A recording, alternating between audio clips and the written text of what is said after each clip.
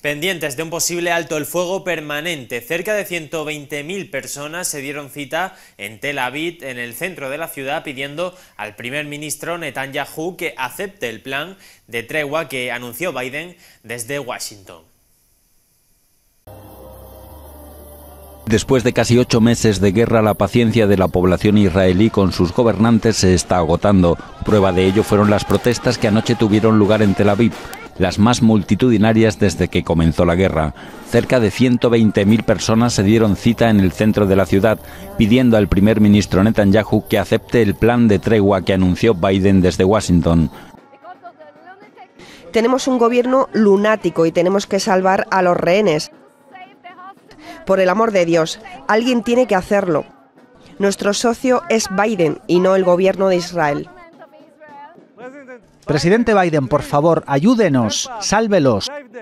Los familiares de los rehenes porque temen que en cualquier momento sus parientes puedan aparecer muertos y así llevan 238 días, y quienes protestan contra el gobierno debido a la gestión de la guerra de Netanyahu.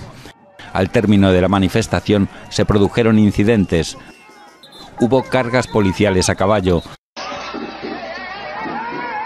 detenciones y según las autoridades 14 agentes resultaron heridos.